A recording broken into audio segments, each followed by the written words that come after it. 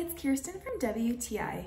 I'm sharing with you my go-to sunscreen. It's the Neutrogena Face and Body SPF Sunscreen Stick. So if you've never tried a stick before, I would highly recommend trying one. It's so great. Um, you're not gonna get your hands greasy or oily with lotions, with sprays. As you can see, the stick looks like an antiperspirant stick. So that's the consistency. It's quite soft and it definitely melts into your skin when applying. You don't have to, but you could definitely rub it in to make sure you're getting all the areas of your skin. It dries instantly and doesn't leave any greasy marks. I definitely suffer with acne breakouts and this sunscreen is so great because it doesn't clog your pores. And the smell is a very slight floral scent, so nothing too irritating at all.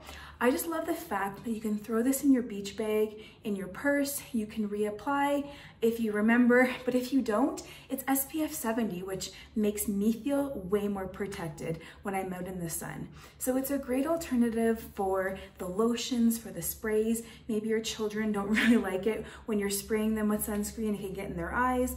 This is such a great alternative. I know you're gonna love it for those summer months ahead. And that's my point of view.